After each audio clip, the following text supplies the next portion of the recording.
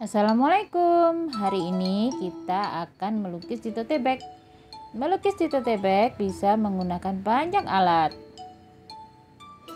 Seperti solasi. Benang atau tali. Daun. Jeruk lemon. Pangkal sayur sawi. Kulit kerang bahkan dasar gelas. Dengan garpu juga bisa loh. Melukis dengan benang juga bisa. Kunci, karton bekas tisu, spons, bahkan balon. Yuk kita belajar melukis dengan pola bergambar dulu ya. Siapkan pola bergambar Ciplak ke atas tote bag dengan menggunakan spidol permanen. Ciplaknya hati-hati ya agar spidolnya tidak melebar.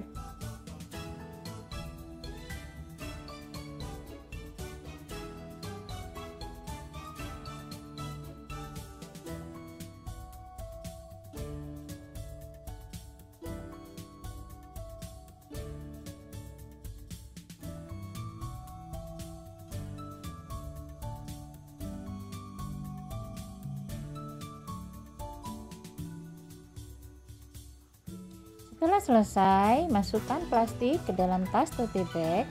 Boleh diberi alas karton agar menjadi lebih kaku. Tujuannya agar cat tidak menempel di bagian belakang.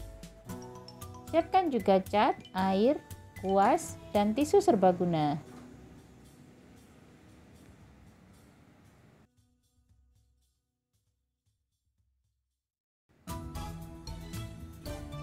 Gunakan warna terang terlebih dahulu ya, baru kemudian boleh menggunakan warna-warna yang lebih gelap.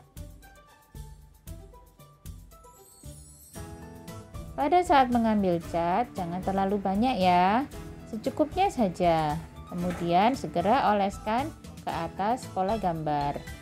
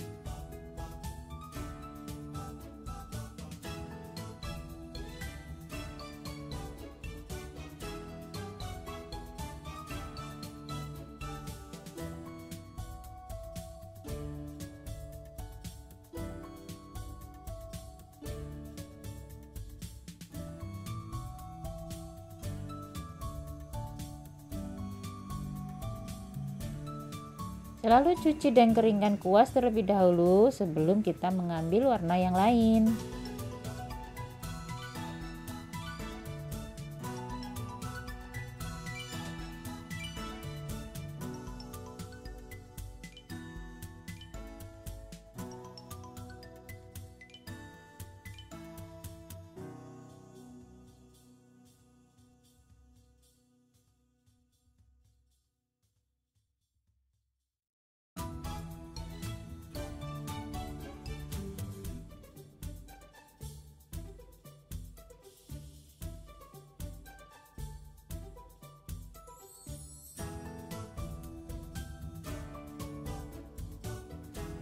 Jangan lupa untuk selalu menutup wadah cat setelah selesai digunakan ya, agar cat tidak cepat kering.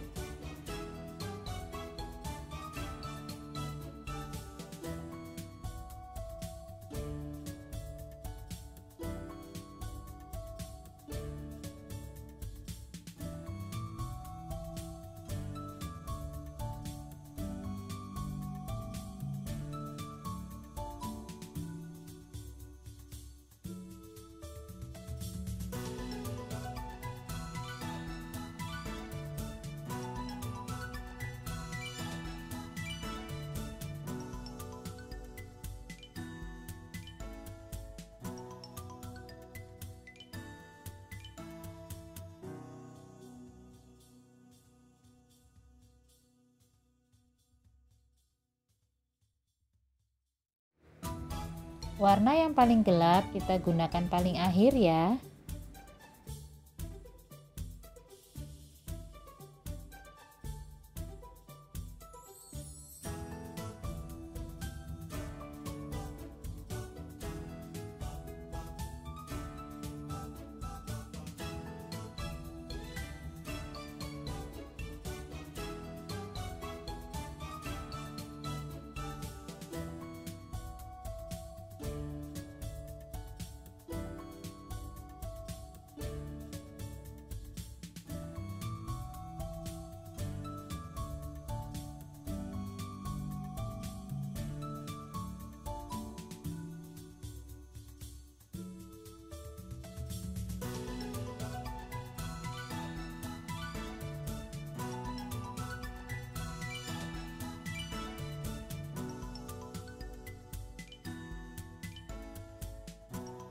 Jika menggunakan beberapa warna dalam satu gambar, sebaiknya gunakan dahulu warna yang lebih terang, baru kemudian warna yang lebih gelap, agar hasilnya lebih cantik.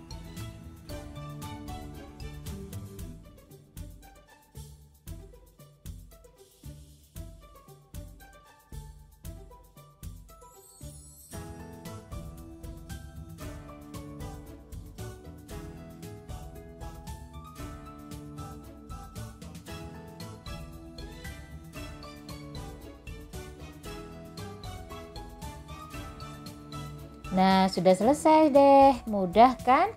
Dan hasilnya sangat cantik. Sekarang kita jemur hingga kering.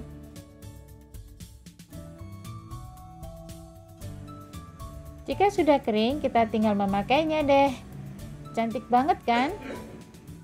Terima kasih. Wassalamualaikum warahmatullahi wabarakatuh.